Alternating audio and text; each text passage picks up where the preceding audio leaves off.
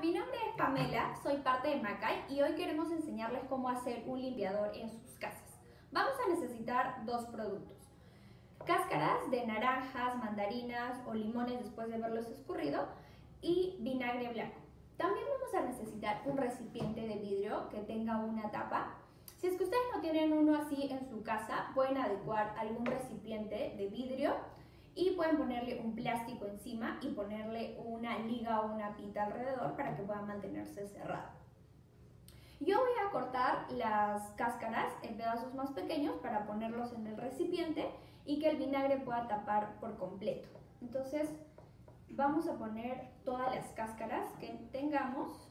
Si es que ustedes necesitan más producto pueden utilizar un recipiente más grande. Yo esta vez lo voy a hacer en uno pequeño y voy a estar poniendo las cáscaras. Recuerden que antes de comer las frutas necesitamos lavarlas y así ya vamos a tener nuestras cáscaras limpias. Voy poniendo las cáscaras que he cortado y tenemos que asegurarnos de que estén bien juntitas para que cuando echemos el vinagre pueda tapar toda la cáscara. Poco más. Y listo. Aquí tengo algunas de mandarinas que ya he cortado y vamos a ponerlas hasta el fondo. ¿Listo? Entonces ahora vamos a poner el vinagre y tenemos que asegurarnos que tape la totalidad de las cáscaras. Así, casi hasta el borde. Vamos a ajustar un poco.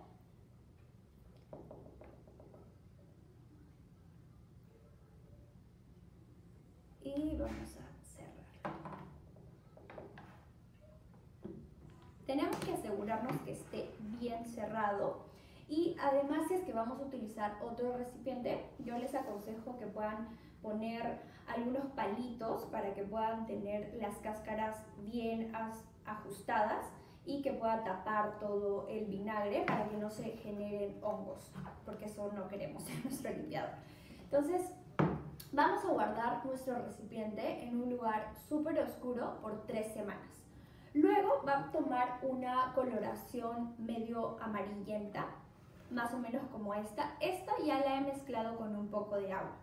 Pueden ponerlo en un rociador como este o si es que no tienen un rociador pueden utilizar una botella, una chapita y le hacen un huequito. Igual les va a funcionar para poder utilizar el producto.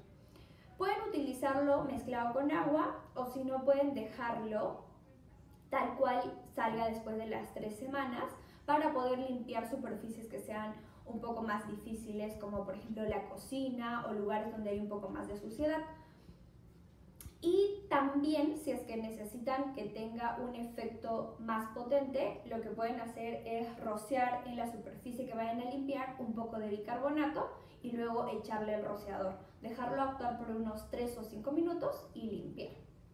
Pueden utilizarlo para limpiar los suelos, las ventanas, eh, la ducha, el baño, la cocina.